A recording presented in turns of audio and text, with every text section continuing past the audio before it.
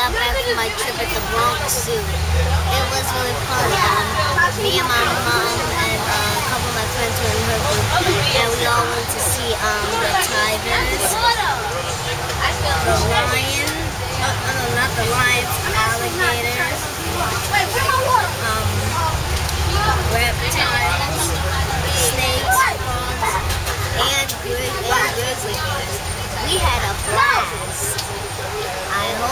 I all others had a good time.